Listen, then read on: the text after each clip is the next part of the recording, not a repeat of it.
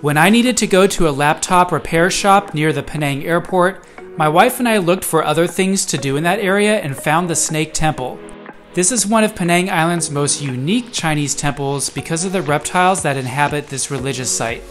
There's a courtyard with a large snake pit where you can look for the green and yellow vipers hiding in the trees and among the leaves.